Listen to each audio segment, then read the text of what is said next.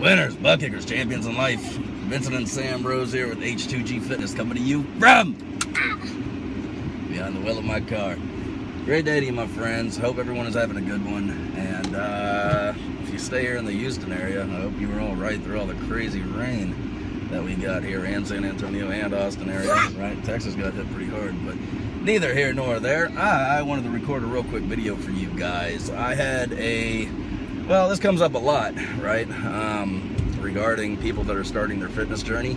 They, uh, you know, you give someone a meal plan, you put them on an exercise plan, you put them on a cardio plan, and all is well, they start dropping weight, and all of a sudden, right, weight loss stops, and immediately they want to know, what did I do wrong? What am I doing wrong? Did I mess something up? What's going on? And uh, I wanted to address that. Look, it is not a matter of if you plateau. It is a matter of when you plateau, right? Your body is highly adaptive, right? And if you are somebody that's interested in fitness and your fitness goal is to decrease body fat, understand this your body is going to fight you in the process of doing that because naturally we are more efficient at storing fat not burning it. We're more efficient at storing energy, not burning energy, right? And your body wants to store up this body fat just in case you are ever in a scenario where you do not have a food source available. You have reserves in the tank for your body to survive, right? It's how we are designed, built, engineered, that deal. So, you pick a fitness goal of trying to make your body do something that it doesn't want to do. And you can do it. But you're going to get some resistance, right? Your metabolism is highly adaptable. You'll set your meals, calories, workouts, cardio, everything's going fine, and your body will start switching hormones and stuff around and start slowing things down until eventually you hit a plateau and you hit a wall. You stop losing weight. And when this happens, for weight loss anyways, um, you have three options, right? You can decrease food, you can increase activity, or you can do a combination of those two things. Decrease calories, increase activity, or do a combination of both. And then you'll start losing weight again. And then you'll plateau again. and then you have three options. You can decrease calories, you can increase activity, or you can do both.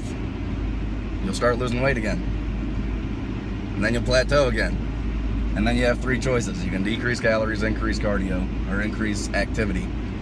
And this process happens over and over and over and over and over and over again. Now, I'd like to just throw out a number for you guys so that way, for those of you who are pursuing this whole weight loss deal, you don't become disheartened in the process and you know what to expect.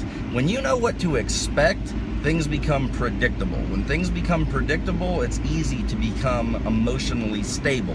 When you're emotionally stable, the process is much more pleasant. And when it's much more pleasant, you'll actually enjoy the journey instead of being an emotional wreck all the time. And one day you're up, one day you're down, depending on what the scale did that day, right?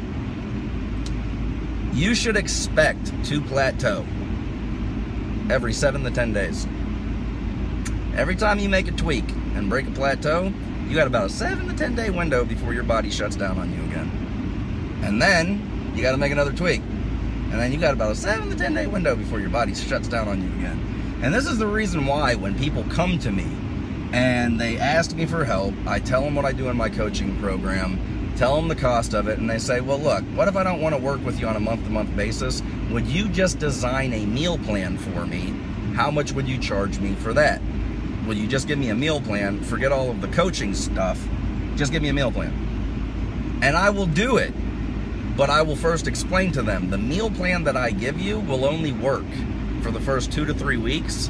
And then after that, you're going to need an entirely different meal plan because it's going to stop working. It's going to have to change. So I just need you to understand before I charge you a premium for an hour's worth of work and you pay that deal, you need to understand you're paying for about two to three weeks worth of results. and then you're going to need more help again if you don't know what to change on your own. So I have to educate people on that kind of stuff. So, again, plateaus, it's not a matter of if, it's a matter of when. You didn't do anything wrong, it's just what your body does. Whenever you do plateau, it's because you're trying to make your body do something that it doesn't want to do. And the way that we get it to do that, increase increase activity, decrease calories, or a combination of those two. And once you bust, break, smash through your plateau, you got a seven to seven to ten day window of results, and you're going to completely lock up again. And you better know what you're doing, or have a coach that knows what he's doing to help you continue along the way. Hopefully, this has been beneficial and easy to understand. And uh, if you have any questions, comments, concerns, thoughts, ideas, any of these things, just leave them down in the comment section below. So with that, over and out, Vincent Rose, H2G Fitness. The future is bright. Something good is happening. Sam, you got anything to say before we get off here, buddy? Yes. What do you want to say? Mr. Hopkins. Mr. Hopkins, you're going to school right now? Yes. You gonna play with friends? You gonna have a good time? Are you happy? So have a good day, everyone. Smile a bunch. Be friendly. Be happy. Something good is happening. Show your muscles, buddy. You guys take care. Be blessed. Over and out. Peace.